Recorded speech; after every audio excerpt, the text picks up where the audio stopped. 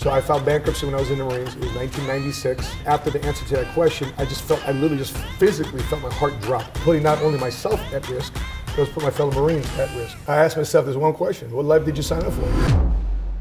So, on your journey becoming financially free, there are some major potholes you must avoid in order to become a first generation cash flow millionaire. Now, what are those potholes to avoid? Well, in this episode, I'm going to teach you how to take that learning curve into a power curve by sharing with you the five major traps you must avoid in order for you to become a first generation cash flow millionaire in this episode of the Seven Figure Squad happening in three, two, one. Let's go. Never short stopping, now I'm winning like I'm Jada.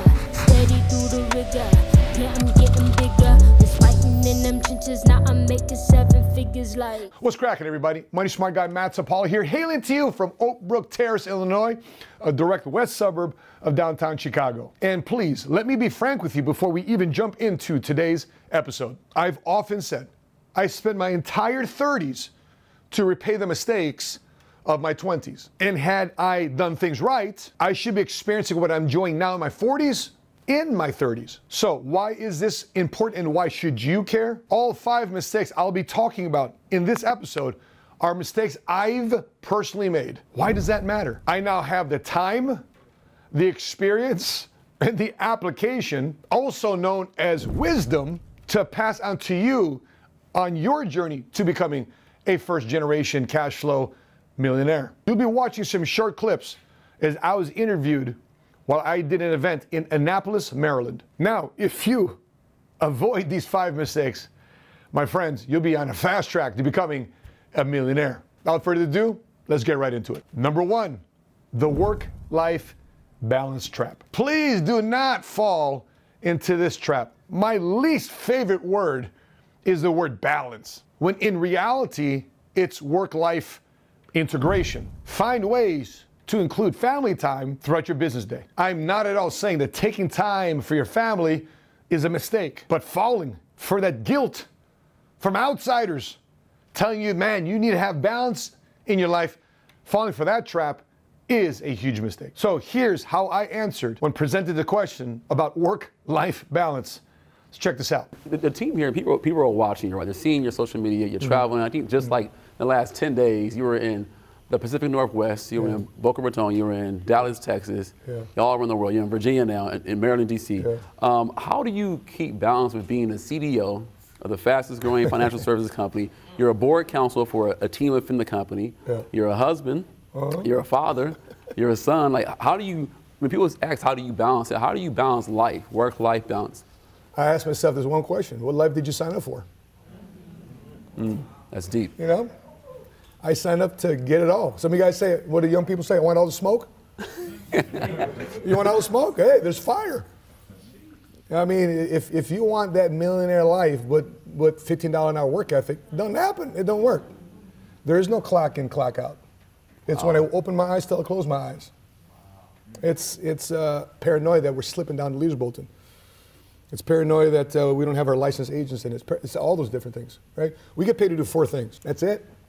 We get paid to do four things. No, technical, no technical skill required. No college degree, required. So when I look at that and, and, and say, here's my alternative. My alternative is stay in the military, stay in the Marine Corps. Got to deal with bad guys, bullets, and bombs. The only thing I realized about bad guys, bullets, and bombs, they don't care what color skin you got. Don't care what color skin you got. And we all bleed red. Yep. Wow. So, so, that, so when, I, when I'm looking at all these things, I'd rather be doing this, phone calls, dealing with rejection, dealing with chargebacks, dealing with people that quit on you, dealing with people that you think you got to convince, dealing with people that don't think so much about business and entrepreneurship. I'd rather deal with that than dealing with the alternative, which is, oh shit, I got to put my life on the line. Wow. So, so that's my reality. Yep. You know, I know that's not everybody's reality. But the life I signed up for, man, when, when you say I want to create generational wealth, it's just not supposed to be generation wealth. it stops with you. It's supposed to be generational.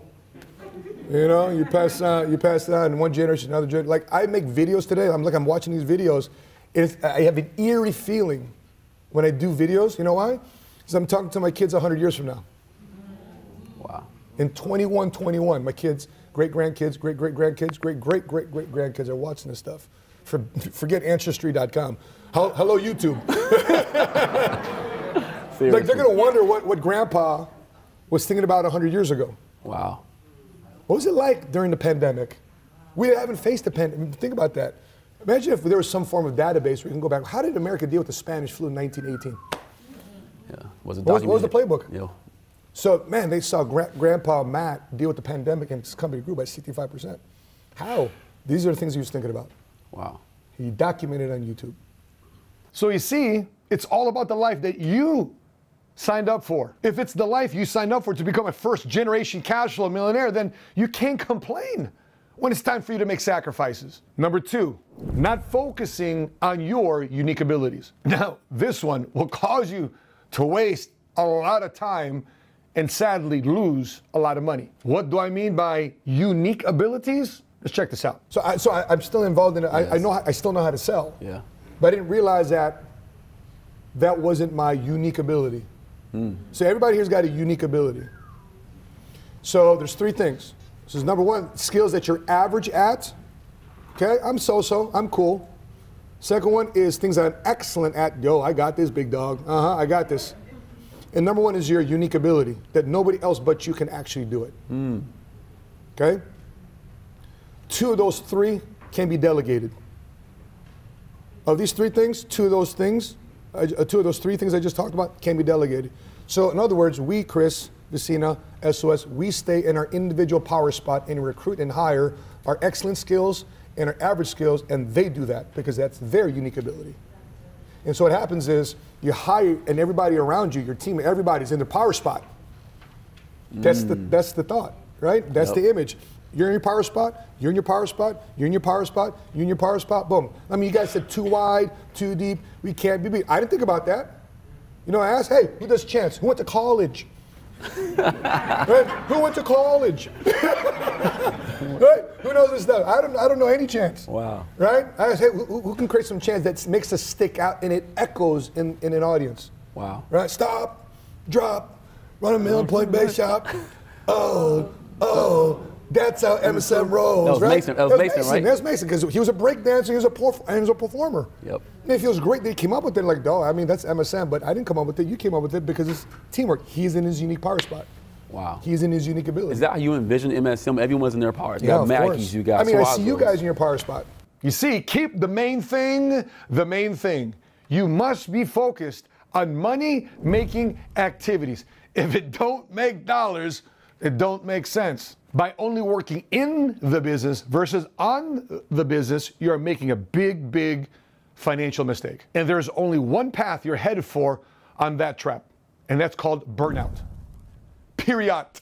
Number three, big financial mistakes. Credit cards, big car notes, racks and racks of debt. Making these type of mistakes, and un- unless they're dealt with, can and will compound over time. These type of problems just don't go away. If you think you're just gonna sweep it under the rug, sadly, they are gonna be too big to eventually handle. Here is a story about how I ran into that type of financial problem. Let's check this out. about challenges. What failures in your past have been platforms for a setup for success that have, have- caused you to grow the most? You, you, when you're in the failure, in the pain, you're like, it's the end of the world. I'm in, I'm in this valley. But what what can you think back to maybe the number one pain you've had in your life where you said, this is the reason why I'm here today? Great question. First one would be financial. So I filed bankruptcy when I was in the Marines. It was 1996. And I was asking the Marines, I said, how do I get out of debt? He goes, call this lady named Susan down the street. She's a lawyer, and she'll help you file for bankruptcy. I said, what's bankruptcy? Uh, it's, it's just something to make your debt go away. Cool. cool, right? By the way, never take advice from other broke people, okay? Otherwise, you can stay broke. Don't take advice from a bankrupt person because you're going to be bankrupt. And then realize my credit for the next five years was just going to be jacked. Sure, she got rid of my debt, but my credit the next three, four, five years, I'm jacked. And I got to answer that anytime I fill out an application for life insurance. Have you ever filed bankruptcy? Yes. Wow. Have- uh, damn it. How come you just, all right, shit. Can it, can it be 10 years back? It's forever. Uh, so, so financial, and then I, I realized that one, and I realized why I filed bankruptcy. I filed bankruptcy for twenty thousand dollars. I mean, to me, that was the world, though, right? Wow. So some of you, and the funny thing is, bro, is we're making thirty thousand a week now. you, you found BK. For- and, All right, it's, it's crazy. And so I learned that I'll never put myself in a financial position again. I got close. I'm not close to think about five because it was never an option after that. But I got close financially, and thank God I went through that twenty thousand dollar problem because I knew I knew how to deal with a hundred thousand dollar problem. I knew how to do a two hundred thousand dollar problem later on down the road, because I built a muscle for that uh, financially. Because you see, you are a product of your environment. If you constantly surround yourself and hang out and conversate with broke people, guess what? You'll be the next broke one amongst them. We've talked about this many, many times before because money is a language. You can either speak brokenese or you can speak millionese. Speaking brokenese with broke people or millionese with millionaires. Either way, you're going to surround yourself with people that speak that language and who are very fluent in it. By avoiding this large financial mistake, you'll be well on your journey to becoming a first generation cash flow millionaire. Number four, neglecting your health. This mistake is made by so many.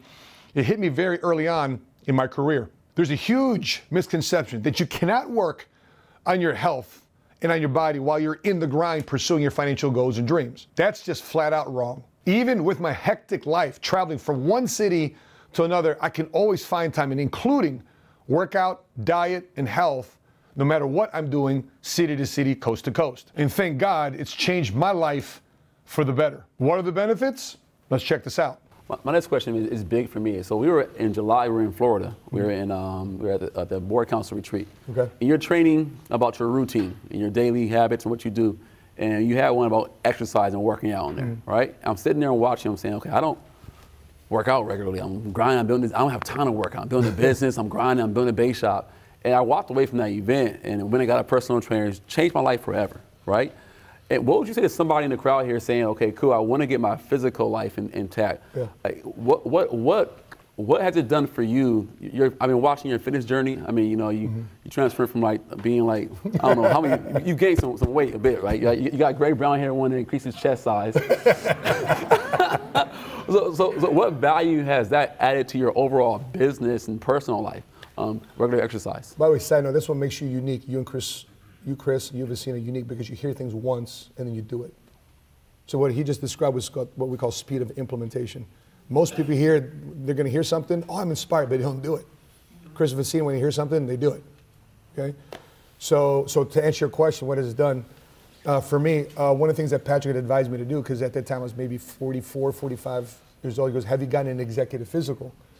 I says no. So he had me do a complete checkout, a blood test, you know, you know um, a cat, um, uh, what do you call those cat CAT uh, scan? cat scans, um, um, uh, what do you call that? Uh, ult- ultrasound. I was getting an ultrasound. I, was, I was messing with the doc- doctor. Hey, uh, is, is that is that me? Is that the ultrasound? Is, is it a boy? Is it- Girl? no, they were just making sure there, there's nothing going on with my, my, my intestines. There's no, you know, anything. So they were doing a complete executive physical on me, and they, you know, they said, okay, I, your, your blood shows this, your blood shows that. So I didn't know. Like I was going through my physical life with not knowing, and I didn't realize how that affected me from an energy and focus mm. standpoint. And so if I want to outlast people, I got to be able to stick, uh, stick my foot in the ground until the beginning of the morning, until late at night. I have to have the, not only the energy, but the focus and intensity while I got the energy. Otherwise, I'm just going through the motions. So, so uh, got together with a nutritionist. Uh, your body. By the way, my wife hates it when I say this, and probably all the women in the room will hate me when I say this. But my body type is a type. I, I'm, I'm asking for, for your forgiveness up front. but uh, my body type is the type that if I don't eat, I'll quickly lose weight. Way. right? Yeah. So i- if, if, if it'll break down my muscle, it'll break down everything before it breaks down the fat. It'll break down my muscle, store it as fat because my body goes into this weird mode, and and and I'll lose mass right away, and I'll lose strength right away. Well, I'm sorry, I'll keep the strength. I'll just lose mass. Yeah. Right. And so, and then it'll start burning away the fat. And I, di- I didn't realize that that's what happened to me when I was in the military. So I'm there in 110, 120 degree weather. I had very little muscle when I was in the Marines. Very little muscle. We were just skin and bones. Corman, Corman know- Doc Christmas knows about that. A lot of Marines, we don't, uh, we don't keep a lot of muscle. We just want to be lean, mean, because if you have a lot of muscle and you're out in the field, you're, a high, you're like a high maintenance Marine in the field. Right? You're like highly likely for them to do mouth-to-mouth resuscitation. right? You got to wake up this big beefy marine. Right? What does? Right? It's worse. They got to carry him too. It's like, I carry you, dog. But by the you, you look at Navy SEALs. Navy SEAls are the same, but you know, like like like Hollywood has made a muscular Navy SEAL special. Oper- no, if you see, if you saw the guy that murdered, uh, that killed uh, Osama bin Laden, Yeah. Robert O'Neill, he looks like an accountant. I mean, yeah. Rob, if you look at if you look at Robert O'Neill, the guy who assassinated uh, Osama bin Laden, he looks like a CPA, Wow. right? Like you, the red red hair.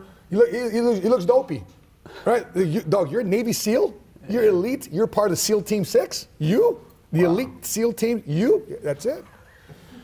But uh, you know that, and, and so the focus, the energy, just you know, personal uh, confidence, uh, networking with inside the gym. That that's helped you know, from a physical standpoint. Now, my knees. You know, we felt our knees a couple days ago. Yes, we right. did. So it, had, had I stayed in the same physical condition, uh, I wouldn't I wouldn't have been asking Bill Corman to open up the O course. I wouldn't have been able to last. Really? Because when I left the military, my two patella tendons, the 40% both are torn. I still haven't got it operated on. So I have a 40% tear in both my p- patella tendons.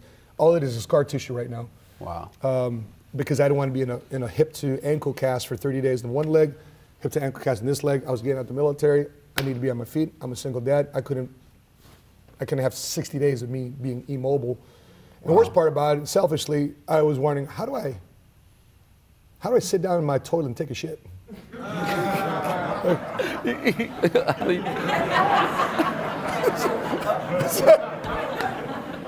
Forget it. I ain't doing it. I ain't doing it.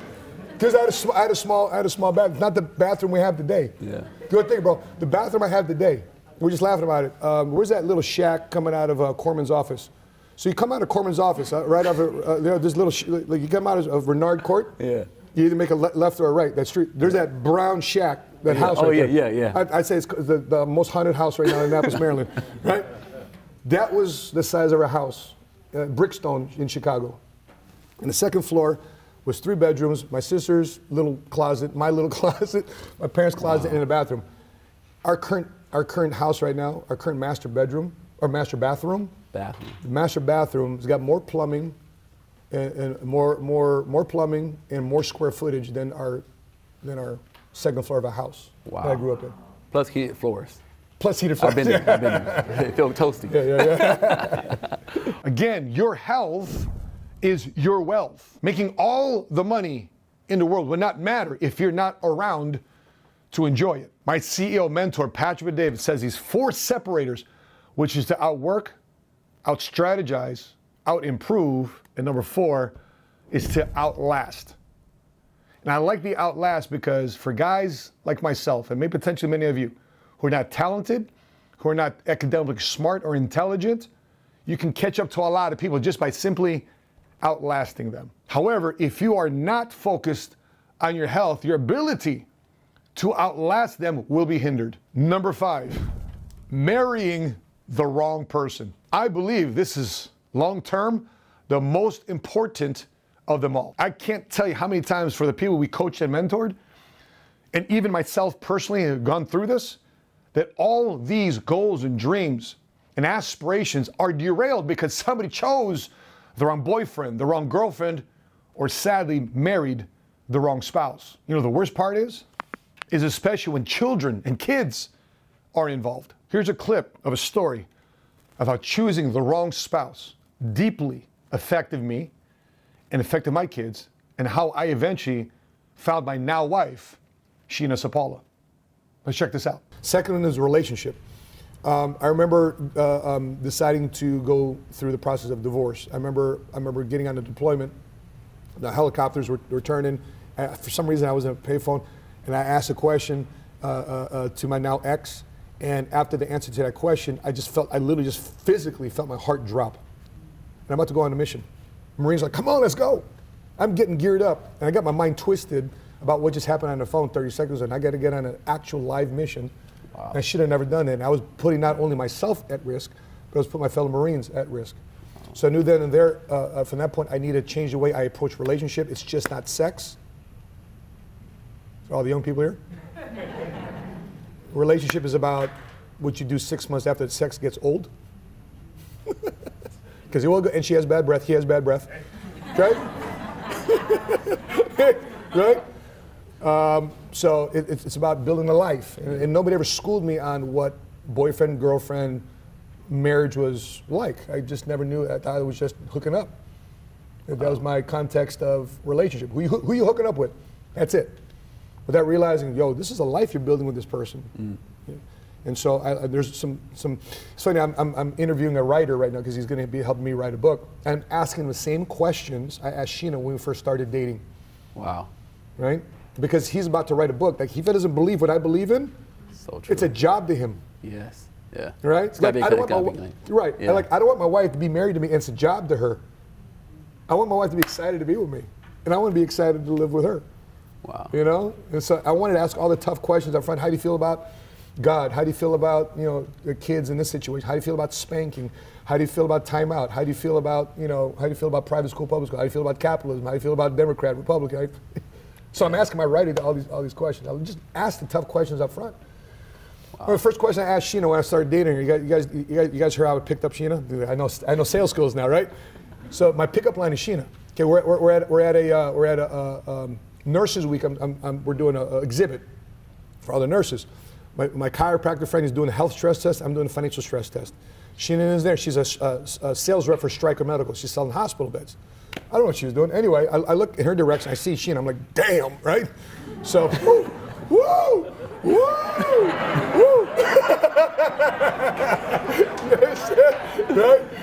Right, like Usher, like Usher song, "There Goes My Baby," right? That sounds, like, I don't know who she was, right? Anyway, I said, "Yo, dog, just handle the booth. I got some business to take care of." I go over there, and, and they were feeding the nurses. I said, "Excuse me," because I know what she was. "Excuse me, miss." She Says, uh, "Would you like to also get some food?" She goes, "Oh, those are just for the nurses." I'm like, "Oh, so you're not a nurse?" She goes, "No." I'm like, "What do you do?" She goes, "I sell hospital beds." Right? It's Sheena, right? I said, I didn't know you sold hospital beds. Oh, interesting. She goes, what do you do? Oh, I, I'm here with a uh, uh, doctor buddy of mine. We're doing, oh, are you a doctor? She, she should go dig it, bro. I But she, I thought I was qualified. She's qualified be like that, right? So I grabbed them, you know, like chi- chiropractors have that, that model of the spine and the skull and, and, the, and the hips. Uh, the- the- little- little, uh, right? So I grabbed that thing. I said, no, I'm not a, I'm not a doctor, but do you like to be manipulated?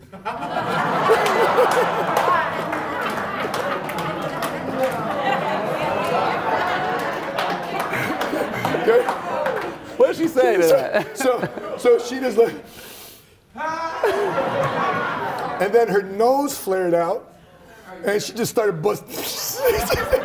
she busted out laughing. I'm like, yes, God.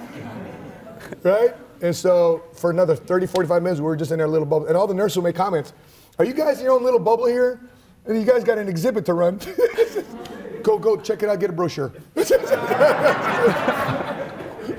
Well, life's about to change, right? Anyway, that, that's what it's like with, with Sheena, just finding my life partner. We- We've been uh, inseparable ever since. And she's like the type of girl that I would recharge my phone at 2 o'clock at night because I'm still talking to her on the phone. I could not get off the phone with her. Wow. and she'd be always, always asking questions. We're learning from one another. It's, it's, it's similar to this day. Yeah.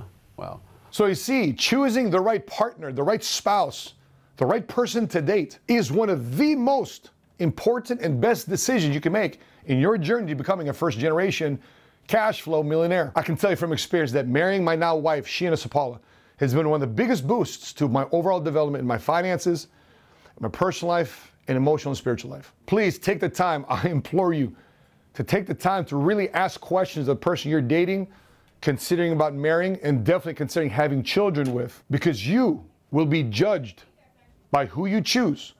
And it just might hold you back from becoming a first generation cash flow millionaire. Well, there you have it the five biggest mistakes for you to avoid. If you avoid these, you'll be setting yourself up for potential massive success by building a solid foundation towards financial freedom and changing your last name and family tree forever. If you'd like to dive deeper into this topic, I suggest you watch this video right here. Is the one quality that guarantees you will never be a millionaire. And the next video right here is the five gotchas of money to avoid. That being said, guys, I'd love to know your thoughts, your questions, your follow-ups, your feedback. Drop them in the comment section below. If you're watching this on Facebook, make sure you click like and follow our business page, Money Smart Guy. If you're watching this on YouTube, make sure you click subscribe and hit notifications to be alerted the next time we upload our next episode. That being said, guys, I'm your money smart guy. And until we meet again, continue to live smart, continue to love smart, and be money smart today. Thank